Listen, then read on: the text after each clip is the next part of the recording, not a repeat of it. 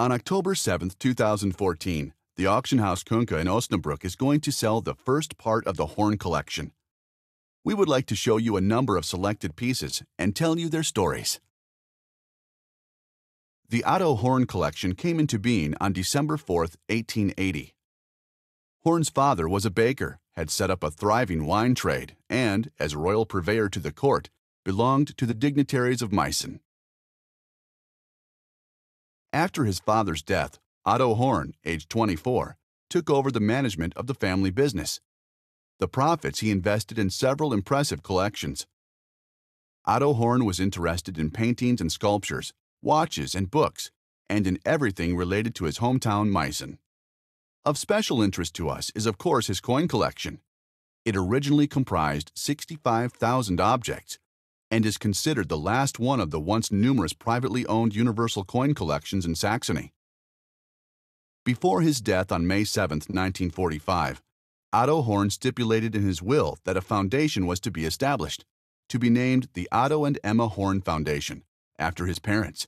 His coin collection was to be sold at an auction and the revenue used as the foundation's seed capital. But historical events confounded this plan.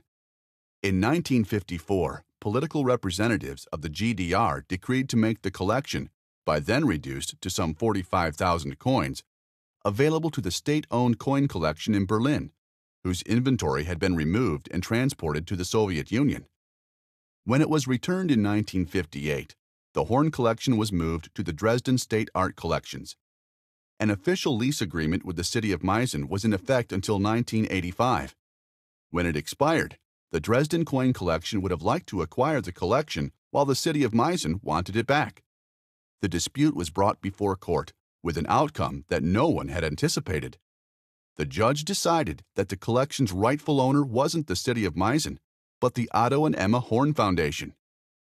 All parties concerned finally arrived at an agreement in 2010 the Free State of Saxony was to provide 500,000 euros for acquisitions so that objects of relevance for Saxony's history could remain in Dresden.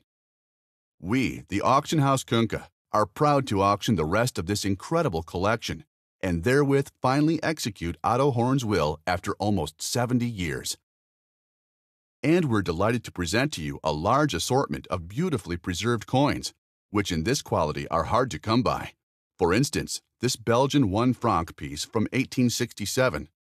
It is not that rare, but have you ever seen it in such immaculate mint state? Inconspicuous fractions in mint state quality, like for example this French 50 centime from 1852, are particularly difficult to find. This exemplar is from Greece. On the obverse, the quarter dram from 1833 shows a portrait of Otto I, son of the King of Bavaria. But also, fans of high denomination silver coins will be pleased. This double Schautaler was struck in West Friesland in 1596. The reverse depicts Neptune as master of the sea, holding the trident in his right hand and riding a sea monster. In the background, one can see ships before a coast. This coin is powerful testimony to seafaring being highly important to the Netherlands in the 16th century. Just remember this in 1596, the year in which our coin was struck, Dutch ships were sailing to Indonesia, Java, and Sumatra. And only five years later, the Dutch East India Company were to set up their central camp in Hoorn, West Friesland. Of course, the collection includes many rarities from the German states. One example is the small series of Klippe coins from Braunau. They were made in 1743 during a siege of the city which took place in the context of the War of the Austrian Succession the Bavarian general Louis Frederick of Saxe-Hildburghausen had the coat of arms of the House of Wettin, crowns on a striped background, engraved on his Klippe coins, who were first manufactured from household and church silver. When the precious metal supply was exhausted, lead was used instead. And this already brings us to the Saxon part of the collection. It comprises several extremely rare collector's items, like this magnificent Bracteate from Bautzen, which depicts the Margrave with sword and palm leaf. Above, you can see a three-towered castle. This Pied-Fort in the weight of one Reichstaler was struck in Dresden in 1610 with half Reichstaler dies. On the obverse, it depicts Christian II, Elector of Saxony. His younger brothers, John George I and August, grace the reverse. Speaking of which, there's a number of Pied-Forts in the catalog. Take this extremely rare commemorative coin here. You're looking at one of the Saxon Vicariatsmünzen from 1657. Emperor Ferdinand III had died on April 2nd of that same year. Not just his son, but several other German princes, and even the French king pretended to his throne. Lengthy negotiations ensued and turned this into the longest interregnum in German history. It wasn't until August 1, 1658, that Leopold I was finally crowned. The main beneficiary of the long interregnum was the Prince Elector of Saxony, who had meanwhile acted as regent in large parts of the Holy Roman Empire and had his own agenda. It is this period of Saxon history which is commemorated with this coin. Another particularly delightful object is this butterfly groschen.